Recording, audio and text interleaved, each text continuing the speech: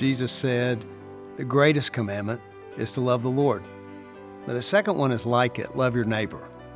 And that means that we're called to serve. Not only He knows how imperfectly I've done that, but I do try to serve my family, my neighbors, and 1,200 employees every day.